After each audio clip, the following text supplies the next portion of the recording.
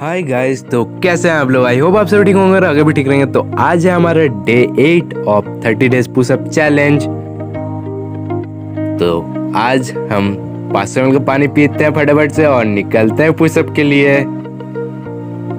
तो हम रेडी हो चुके हैं यहाँ पे। छः पंद्रह कुछ बजे थे तो जल्दी से फटाफट से निकलते हैं घर से। तो आज का दिन बड़ा ही सनी हो रखा था, सूरज मामा सर पे थे तो हम खेतों में पहुँच चुके हैं गाइस तो जैसे कि आप देख सकते हैं, जोतने का काम कंप्लीट हो चुका है और एक खेत में तो फ़सल भी आनी चालू हो चुकी है हल्की से। तो हम यहाँ पे पूसअप एरिया में पहुँच चुके हैं गाइस तो जैसे ही हम आगे बढ़ते हैं, यहाँ पे किसी ने अपनी बेहतरीन कला का प्रदर्शन दिखाया है। तो जैसे कि आप देख सकते हैं गाइज़ कभी ईटों को गिरा देना हुआ, कभी ये सब करना हुआ।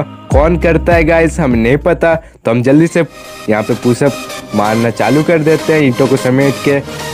तो हमने रेगुलर पुशअप के साथ अपना डे चालू कर लिया है। एक एक करके इंक्लाइन डिक्लाइन डायमंड सारे पुशअप को बारी बारी से मारेंगे। देखते हैं गाइज़ कैसा रिज़ल्ट मिलता है।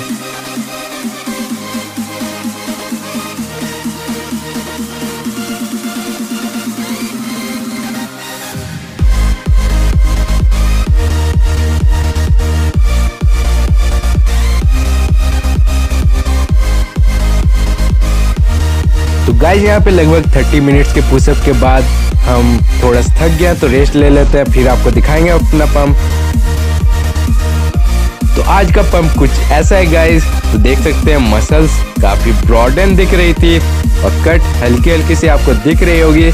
और देखते गाइज़ डे थर्टी तक हम कंटिन्यू कर पाते कि नहीं। और यहाँ पे देख सकते हैं गाइज़ काफ़ी अच्छी बैक पोजिंग हो रही थी। तो लगातार सात दिनों के बाद आज आठवां दिन था। तो कैसे एक हफ़्ता गुजर गया हमें पता ही नहीं चला गाइज़ तो देखते हैं गाइज़ हम थर्टी डेज़ तक बने रही है मेरे ब्लॉग्स के साथ। तो तब तक के लिए बाय